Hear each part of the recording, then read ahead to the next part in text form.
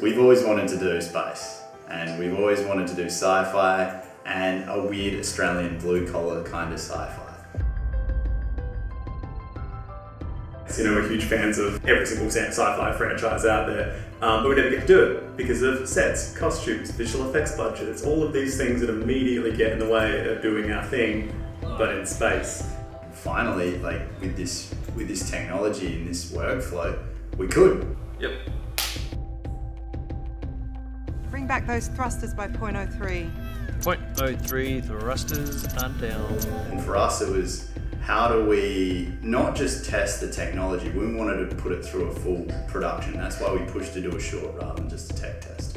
Because we wanted to run a production from start to finish and basically stress test it. Go, where were the issues? Where were the um, bottlenecks? And like, I, I think all of us looking back, like, it was a really smooth shoot for something like when you're stepping into that, generally there is a lot of teething.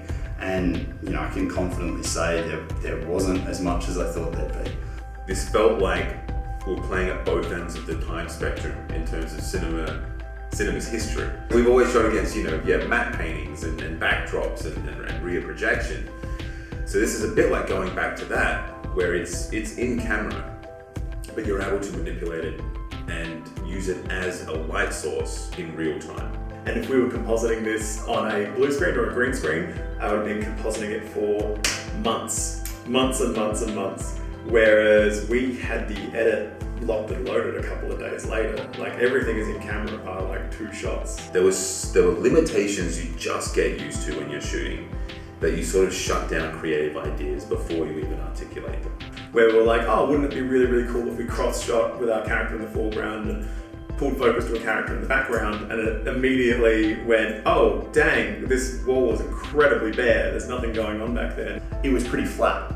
I remember sort of turning to Jeremy and Jeremy was playing around with this orange kind of hologram and I was like, don't worry about that, it's gonna look stupid. He's like, no, no, no, just give me a bit of, give me a second. If we were on a regular set, we would have had to pause for two, three hours while production design got that sorted, blended it in, or we would have had to scrap the shot entirely because we are like, look, we're just not ready for it, we're gonna have to find something else. But when I realized I could just turn to Jeremy and say, can you drag and click a light and put it right there? Can we put a pipe on that wall? Can we put a window in that wall? Because I think that would look nicer the fact that that happened in a handful of minutes uh, and on the fly, like as you're problem solving, I think that was the biggest exciting sort of thing. And going, okay, if you can do that, what else can you do? We essentially set up the camera in almost a single location and we figured out sort of what color lights were to our right and what color lights were to our left. And then we had to go through the mental math of an environment where the background could change and shift however we needed to be. But to get our shot reverse shot, we needed to take both our practical lights and our actors and revolve them with as if they were on a giant lazy Susan. Like I think if we had extra time at this, that pre-production time with the digital location would have been a lot more fun. Like it would have meant, you know, me, Aaron, the cinematographer, and Jeremy could really just sat down and and spent a lot of time just working through what are the options in this set what are the options with this amount of characters and digital mannequins and you can get really creative with that and you're not blowing time and money on finding that on set. Well, everyone's been incredibly lucky to have access to these huge resource that Unreal has provided with their libraries. So all of a sudden we have like beautiful uh, modular sci-fi walls just at the click of a button. So our capacity to put a set together in the space of a day a few years ago that just didn't exist and now it's there for everyone to use. It's been really exciting to see this incredible community growing so, so fast online with all the virtual production forums, the Unreal forums.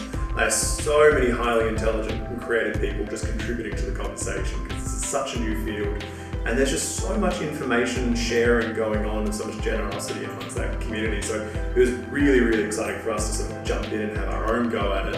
And um, we're blown away by the results. Like the fact that we were able to turn this around in three days is insane and it would have been impossible several years prior.